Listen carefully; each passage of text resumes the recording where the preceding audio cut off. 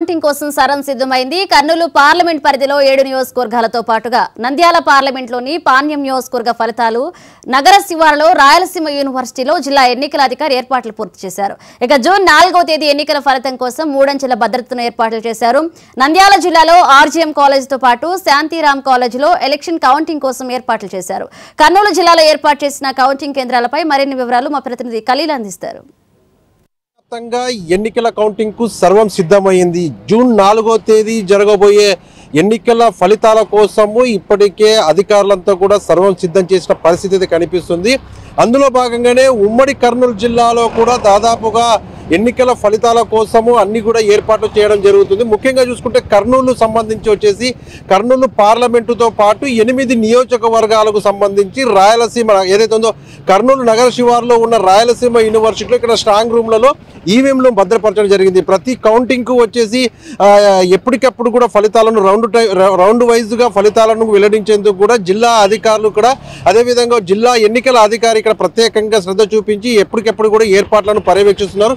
June నాలుగో తేదీకి ప్రతి ఒక్కరికి కూడా అంటే ఎన్నికల ఫలితాలను ఎప్పటికప్పుడు ఇవ్వడానికి కూడా సర్వం సిద్ధం చేసినట్టుగా తెలుస్తుంది. ముఖ్యంగా చూసుకుంటే ప్రస్తుతం మనము రాయలసీమ యూనివర్సిటీ దగ్గర ఉన్న. ఈ రాయలసీమ యూనివర్సిటీ దాదాపు ఎనిమిది నియోజకవర్గాలు కర్నూలు పార్లమెంటుతో పాటు కోడుమూరు ఆదోని మంత్రాలయం ఎమ్మిగున్నూరు పత్తికొండ అదేవిధంగా పాండ్యం నియోజకవర్గానికి సంబంధించి నియోజకవర్గాలకు సంబంధించిన ఏదైతే ఉందో ఈవీఎంలకు సంబంధించిన ఎన్నికలను ఇక్కడ ఇక్కడ ఫలితాలను వెలువడతారు. అదేవిధంగా వచ్చేసి నంద్యాల జిల్లా విషయానికి వస్తే నంద్యాల జిల్లాలో వచ్చేసి ఆర్జీఎం కాలేజ్తో పాటు ఏదైతే ఉందో శాంతిరామ్ కాలేజ్లో కూడా అక్కడ మిగతా నా- ఏదైతే ఉందో ఆరు నియోజకవర్గాలకు సంబంధించి నంద్యాల పార్లమెంటుతో పాటు ఆరు నియోజకవర్గాలకు సంబంధించిన ఈవీఎంలను కూడా అక్కడ భద్రపరచడం జరిగింది. ఇప్పటికే దాదాపుగా వచ్చేసి ఎక్కడ ఎలాంటి అవాంఛనీయ ఘటనలు చోటు చేసుకోకుండా రెండు జిల్లాలకు సంబంధించిన అధికారులతో పాటు జిల్లా ఎస్పీలు కూడా మూడంచెల భద్రతా పద్ధతుల్లో ఇక్కడ పోలీసులను షిఫ్ట్ వైజ్గా డివైడ్ చేసి ఇక్కడ ప్రతిరోజు కూడా క్షుణ్ణంగా పరిశీలించడం జరిగింది. ఇప్పటికే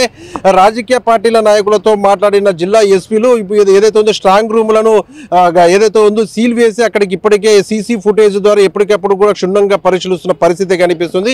ఈ నేపథ్యంలో ఇప్పటికే దాదాపు అంటే రాయలసీమ యూనివర్సిటీలో మొదటిసారిగా ఇక్కడ ఏదైతే ఉందో రాయలసీమ ఈవీఎంలు నాలుగో తేదీన రోజు కర్నూలు పార్లమెంటుతో మొదలుపెట్టి అదేవిధంగా వచ్చేసి కోడుమూరు ఆదోని ఎమ్మిగునూరు ఇలా ప్రతి నియోజకవర్గంలో ఎనిమిది నియోజకవర్గాలకు సంబంధించిన ఫలితాలను ఎప్పటికప్పుడు కూడా ఇక్కడ రౌండ్ వైజ్గా ప్రకటించే అవకాశం అయితే స్పష్టంగా ఉంది. ఆ నేప ఆ దాని ఆ- దిశగా ఇప్పటికే ఏర్పాట్లు కూడా ముమ్మరం చేయడం జరిగింది. దాదాపుగా ఎక్కడ అంటే ఇక్కడ ఏదైనా కానీ జరిగిన ఎలాంటి ఘటనలు చోటు చేసుకుంటూ ఇప్పటికే దాదాపుగా వచ్చేసి కేంద్ర సాయుధ బలగాలతో పాటు ఇక్కడ రాష్ట్రం సంబంధించిన పోలీసులు కూడా పెద్ద ఎత్తున కూడా ఇక్కడ ఏదైతే భద్రతా ఏర్పాట్లు చేసిన పరిస్థితి కనిపిస్తుంది.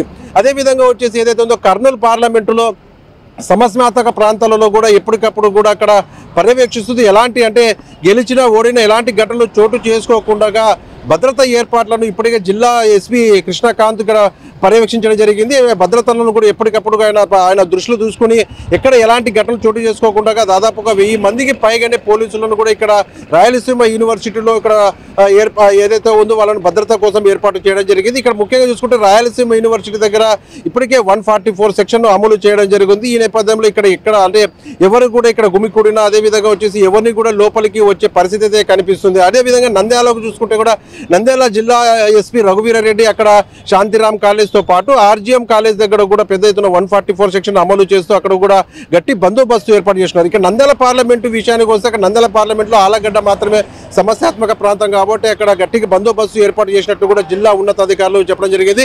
ఎక్కడ గెలుపు సంబరాలను చేసుకోకూడదని ఇప్పటికే రాజకీయ పార్టీలకు జిల్లా ఉన్నతాధికారులు సూచన ఇచ్చిన నేపథ్యంలో మరి ఎక్కడ కూడా బాలసంచ కానీ అదేవిధంగా గెలుపు సంబరాలను చేసుకోకూడదని చెప్పేసి గుమి కూడకూడదని చెప్పేసి అదేలు జారీ చేసిన పరిస్థితి కనిపిస్తుంది. ఏది ఏమైనప్పటికీ జూన్ నాలుగో తేదీకి మాత్రము గట్టి బందోబస్తు ఏర్పాటు అంటే జూన్ నాలుగో తేదీ ఎన్నికల ఫలితాలు విడుదల అవుతున్న రోజుల నేపథ్యంలో ఎక్కడ ఎలాంటి అవాంఛనీయ సంఘటనలు చోటు చేసుకోకుండా గట్టి బందోబస్తును ఏర్పాటు చేయడం జరిగింది. మరోవైపు వచ్చేసి ఈవీఎంల దగ్గర కూడా ఎలాంటి అంటే ప్రతి ఏదైతే ఉందో పోలింగ్ దగ్గర కూడా అంటే ప్రతి ఏదైతే కౌంటింగ్ రౌండ్ దగ్గర కూడా ఏజెంట్ ద్వారా వాళ్ళని క్షుణ్ణంగా పరిశీలించి అక్కడ అక్కడ ఏదైతే ఉందో ఫలితాలను ఎప్పటికప్పుడు కూడా విడుదల చేస్తామని చెప్పేసి కూడా జిల్లా ఎన్నికల అధికారి ఇక్కడ చెప్తున్న పరిస్థితి. ఏదేమైనప్పటికీ జూన్ నాలుగో తేదీకి మాత్రము అన్ని ఏర్పాట్లు చేశామని జిల్లా ఉన్నతాధికారులు చెప్తున్న పరిస్థితి.